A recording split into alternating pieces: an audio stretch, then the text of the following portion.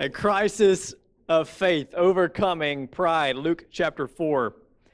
Lucy was a strong believer in Christ, but she got really sick with cancer and was hospitalized. Ricky, her husband, loved her dearly, but he was an unbeliever. He had always heard people praying to God and the sick being healed, but he was always a bit skeptical. He didn't think there was enough proof to believe in God. And the idea of someone rising from the dead was just preposterous.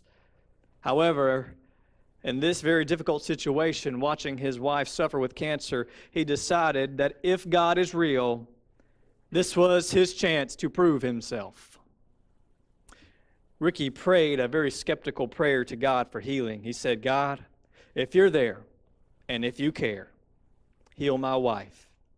But if you don't, then I guess I'll have my answer about you. You see, Jesus was in the wilderness, and he was tested and tempted by Satan.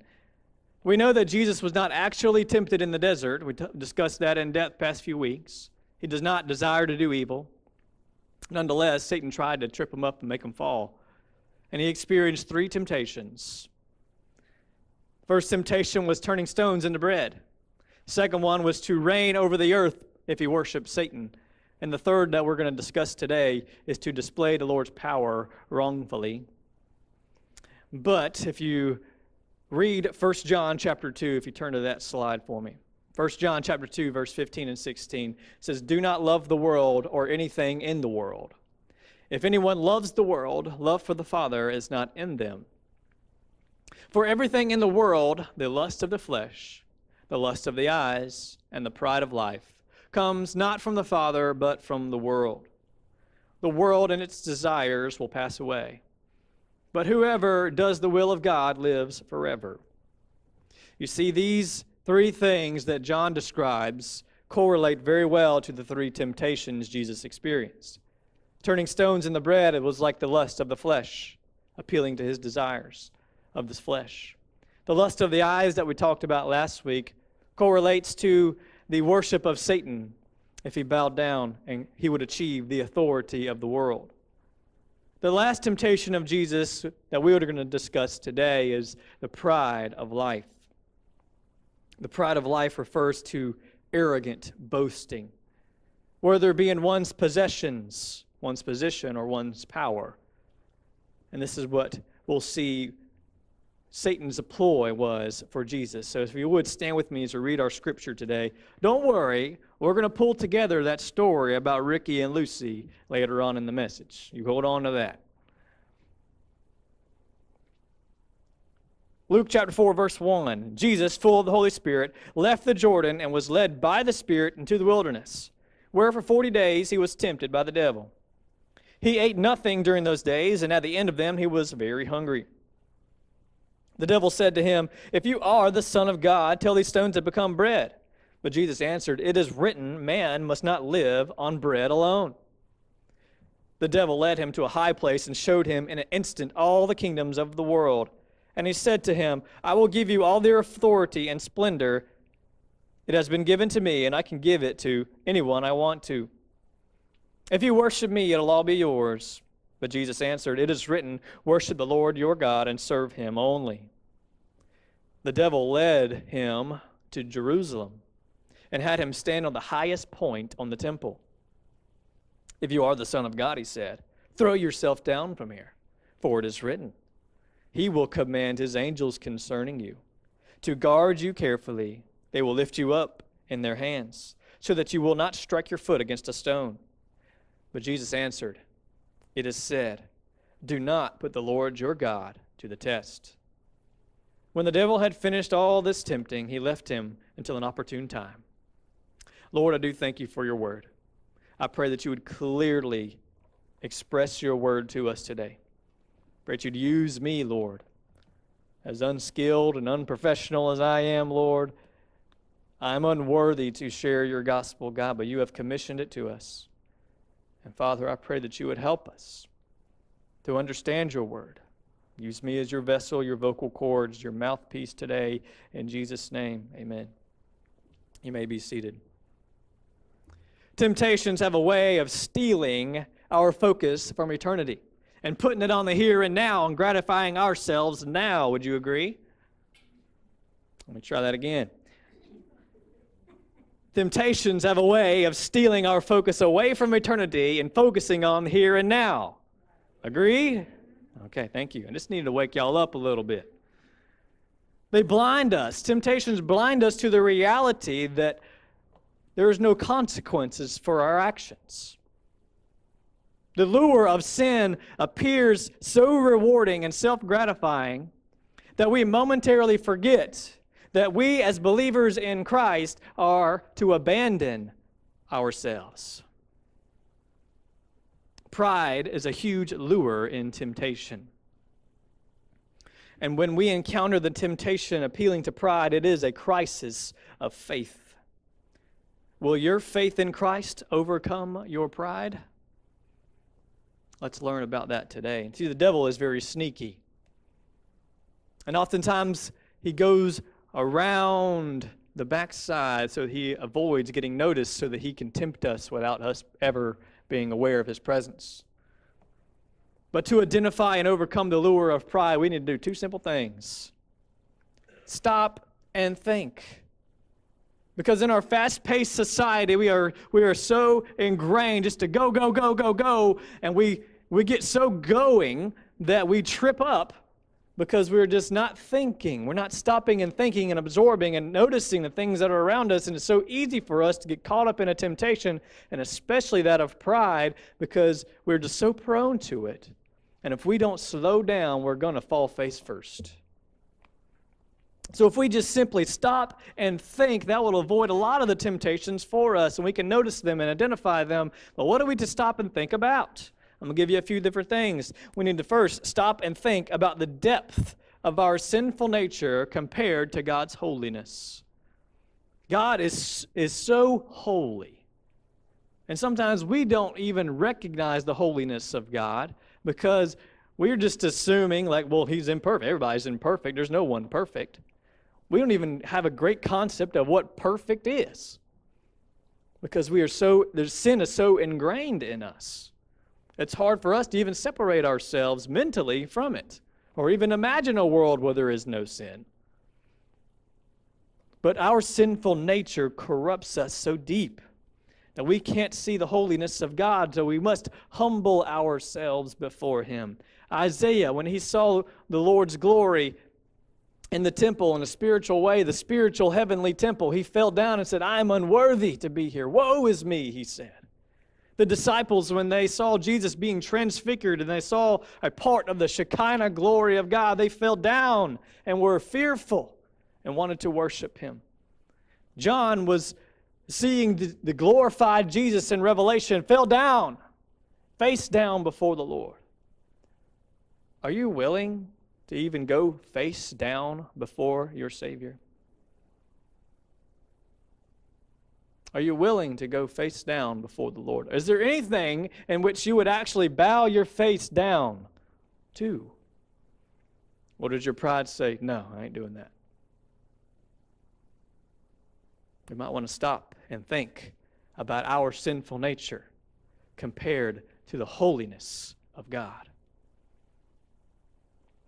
1 Peter 5 5 and 6 says, God opposes the proud God opposes the proud. In the same way, look at this. In the same way, you are to, you who are younger, submit yourselves to your elders, all of you. Clothe yourselves with humility towards one another, because God opposes the proud, but shows favor to the humble. Humble yourselves, therefore, before the Lord's mighty hand, under the Lord's mighty hand, that he may lift you up in due time. God is holy and uh, for us to have any kind of relationship with this God, we must humble ourselves. Humbleness is a sign of holiness. Number two, stop and think about the source of all good things. You know, a quarterback may take pride in himself that he threw a touchdown pass. But he did, did he act alone? No, he needed a good receiver to catch the pass. He needed a good offensive line to protect him so that he could throw the pass. He needed a good coach to tell them the right play so that he could make the right pass. Amen? He did not act alone, but in his pride he may think so. A CEO of a corporation may brag about how she has brought this company to new ends and new, new heights. But did she act alone? No, she needed employees to make it happen. She needed all the pieces to be in place to make it happen. God is the source of every blessing we have. Amen. James 1:17 says all good things come from him. All good things come from him. When we are tempted to boast in ourselves, we forget just how much God has done and how much he is working on our behalf. We act as if we did it all. It was me. Look at me. Our pride can blind us to the work of God in our lives, and our pride replaces God with our own. The temptation of Adam and Eve, you remember? What's the ploy that Satan says? Don't you want to be like God? He was appealing to their pride. Number three, we need to stop and think about our status in Christ. In 1 Corinthians chapter 6, verse 19 through 20. Don't you know that your bodies are temples of the Holy Spirit, who is in you, whom you have received from God? You are not your own. You were bought at a price. Therefore, honor God with what? Your bodies. We are temples of the Holy Spirit. Collectively, we are the temple of the Holy Spirit, the body of, the, of Christ, the collective body of Christ. But when you accept Christ as your Lord and Savior, the Holy Spirit comes in you personally. You possess the Holy Spirit, He is in your heart, right? You become the temple of the Holy Spirit. That is our status in Christ. We are not our own. Our citizenship is in heaven. We are servants of Him. We are servants of Christ, but even so, I know a lot of people have done this. You've probably seen this, or maybe you've done it yourself. Some people take pride in their servitude to God. Look how much of a servant I am. Look what I've done for the Lord. All of a sudden, pride sneaks in, even in our servitude. Number four, think about our testimony. When we are tempted to say something, when we are tempted to do something, Stop and think before we do. Stop and think before we say because we need to also absorb how is this going to affect me? How is this going to affect people's view of my testimony? And my testimony is that I am saved by the grace of God. I am unworthy to be called a child of God. He makes me worthy because of His righteousness, not anything about what I've done, but what He's done. That's our testimony in Christ. By Him, Jesus Christ, Him crucified, died, resurrected, and He's coming back again to get me one day. Amen? Amen? That's our testimony. But when we act in the way the world acts, we nullify that testimony. We corrupt that testimony. We make it unworthy to people, unattractive to people. Why would I want to be like that? They're living just like the world does. There's no difference in them than me. What, what do they have that I ain't got? We ruin our testimony. We need to understand that the things that we do, the things that we say, people hear and people notice. Amen? And when we're not acting in the way that Christ wants us to act, it can ruin our testimony, but not just your testimony. Guess what? Because you call yourself a Christian, you also taint all Christians. You call yourself a member of a church, guess what? Everybody in that church is now looks like you. How would you like that? To an unbeliever, we put ourselves in a fishbowl. They're watching us, and we can ruin our testimony by the things we say, and especially if pride creeps in, it can really ruin the testimony of the church. It can ruin the testimony of you of your faith in Christ. Number five, we need to stop and think about what we want now versus what we want most what we want now versus what we want most? Is the gratification or even the glorification of myself now better than what I may receive in heaven? Matter of fact, what I will receive in heaven? Daniel Akin, commentator, said this The things of this world seem to be of great value, but they are worthless when compared to the eternal blessings that come from doing the will of God. If we can just step back and recognize that we are only passing through this world, we have an eternal home that's waiting on us, the eternal blessings of God that is waiting on us. And it's a guaranteed possession in heaven. The things of this world will pass away.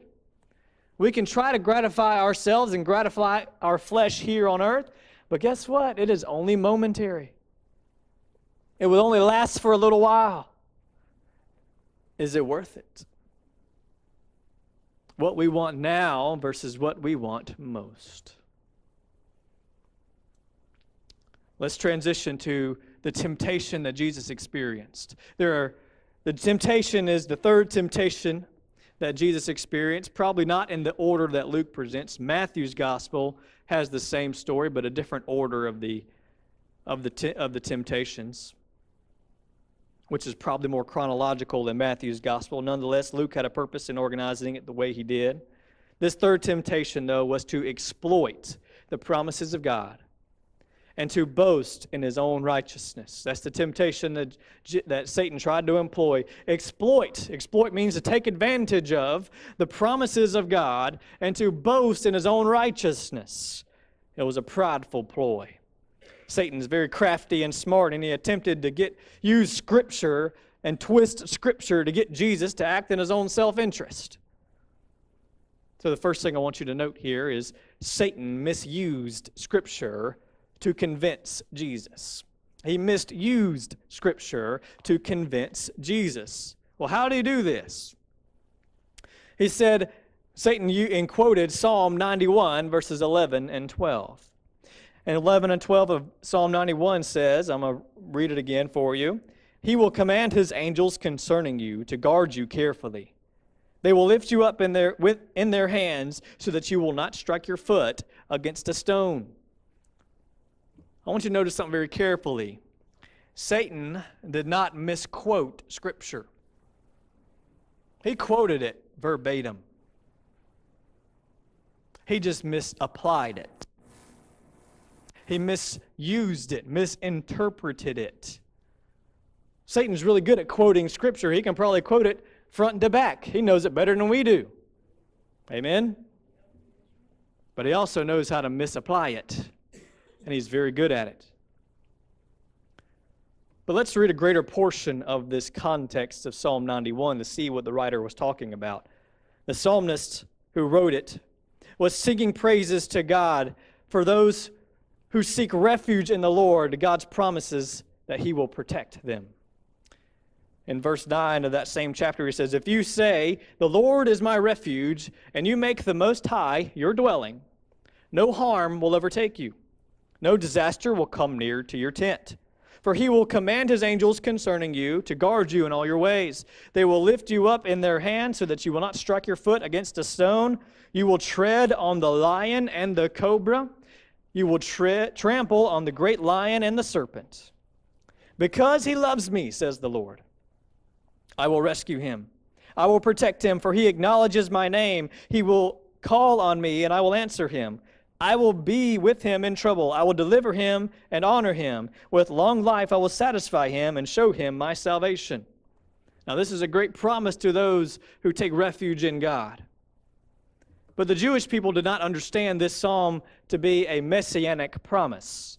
They did not see this psalm as a prophecy that the Messiah would fulfill. It wasn't a direct prophecy, nonetheless. But this promise in this psalm is to everyone who has faith in God. New Testament reality is those who have faith in Christ, who is the embodiment of God's Word. But the ultimate fulfillment of this promise, please understand this, this is where Satan missed it, but Jesus got it. The ultimate fulfillment of this promise is not a physical or a literal salvation, it was spiritual. Because there's a greater danger for us than a physical danger. There's a greater danger for us than if we are in actual prison. There's a greater danger for us than if we are being pursued by an enemy. The greater danger is a spiritual danger, a danger that we could end up forever without God in hell. That's a true reality, and that is a spiritual reality, and that's what this psalm is referring to. Those who seek refuge in God will be permanently saved by God's right hand. Amen? That's the application of this scripture. But Satan wanted it to be a physical salvation. Hey, promise, the promise says, Jesus, that if you take refuge in God, then if you just jump off this temple top, he says he's going to save you. Right? Well, don't you think that Jesus knew better? Jesus knew better. And he said, No. The Bible says, don't test the Lord.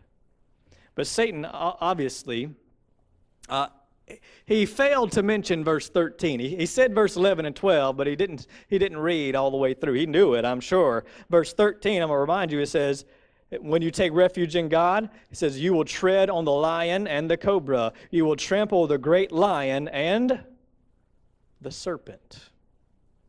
When we take refuge in God, you know, Satan in Scripture is referred to as a great lion. He is a, a lion that prowls around looking for someone to devour. But he is also. Uh, he is also symbolic of the great serpent. We see the serpent in Genesis and in Revelation. So we know the promise here that Satan ironically failed to mention that if we take refuge in God, the power of God overcomes Satan himself. Amen?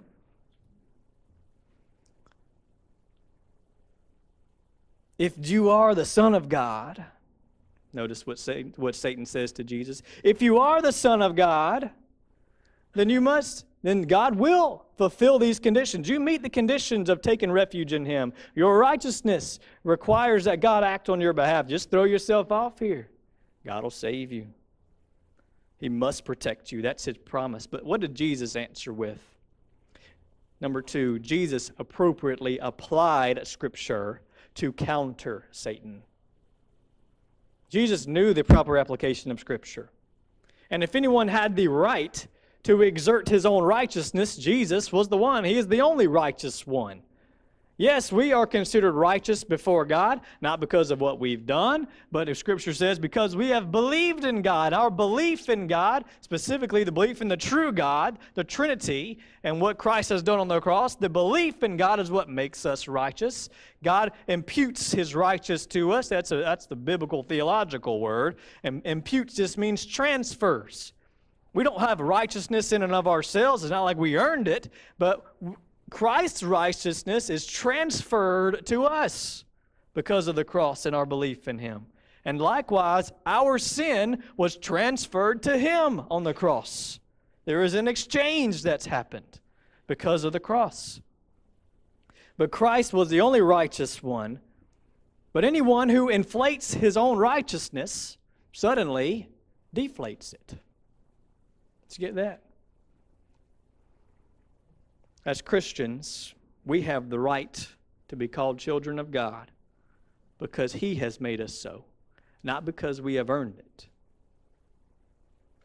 But notice what Jesus does. He doesn't simply quote a passage to Satan, he applies a passage to Satan.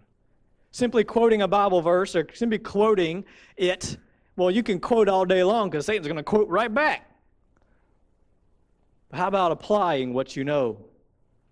Apply what you know to be true of Scripture. Jesus says, Do not put the Lord your God to the test.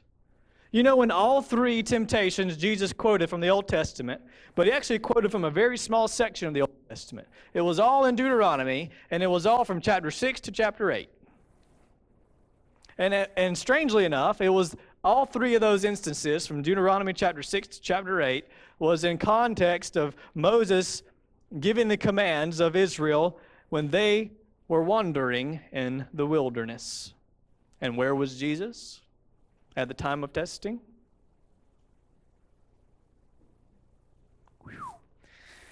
And where was Jesus at the time of testing? In the wilderness. Am I going too quick? Let me start over. Lucy was a strong believer in Christ.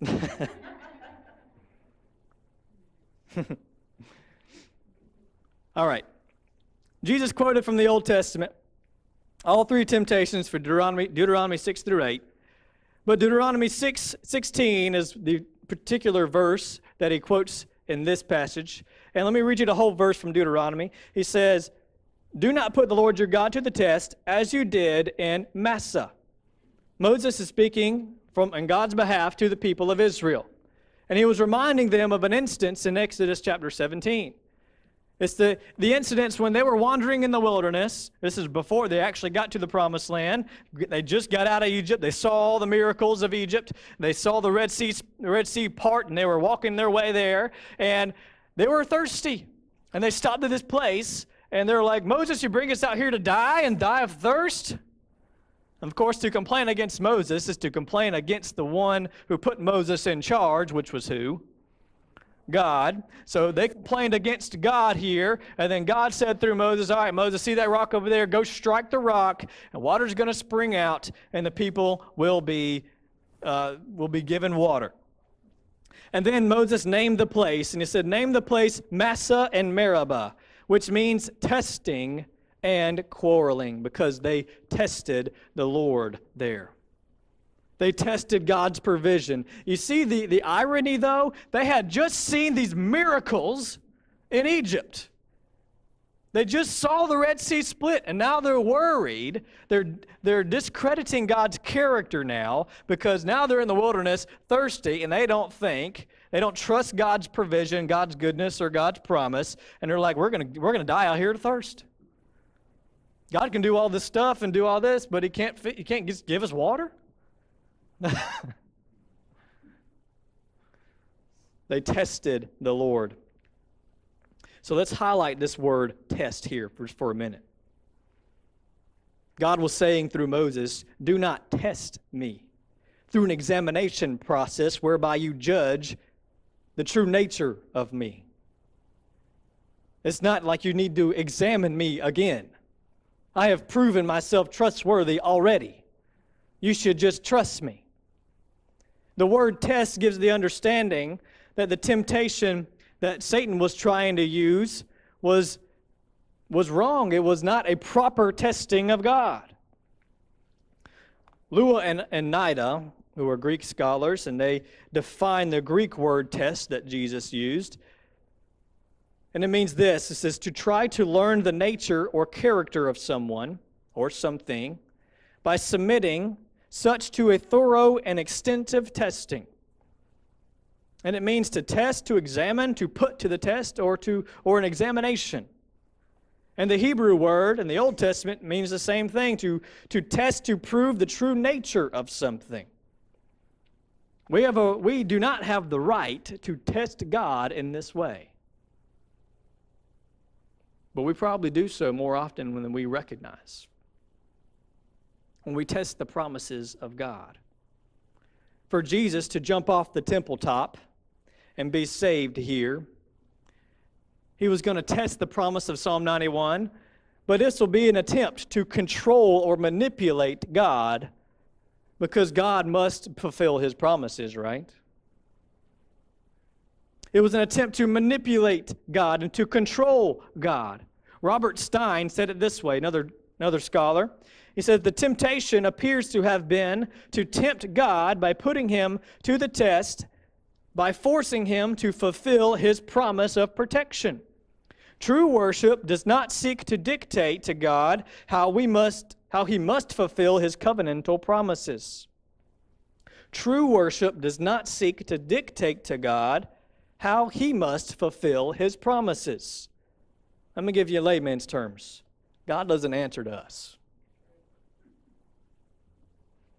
David Gooding said it like this The only motive for jumping off the temple top would either be vainglory or the desire to test God to see whether he would keep his promise or not. Scripture for, forbids man's testing of God in this way. God is not on probation. There is no doubt about his faithfulness. That has to be cleared up by putting him through more tests. You get that? The motivator behind such a temptation seems to be pride. And it's seen in a number of ways. Stay with me just a little bit longer. Lunch is on the way, you don't worry. the pride sneaks in because it is an attempt to control and manipulate God as if God has to prove himself to us again and again upon our command. That's the pride. Another reason pride sneaks in, he says, when Jesus was on the temple top, on the rooftop with Satan, there were probably people around on the ground. And they may have been there to witness this miracle. And so for Jesus to jump and be rescued by angels, it would have been a clear sign this was the Messiah. But God did not want to prove his messiahship in this way. Perhaps a resurrection would do better. Here's a modern day example of some of this prideful situation that we can find ourselves in.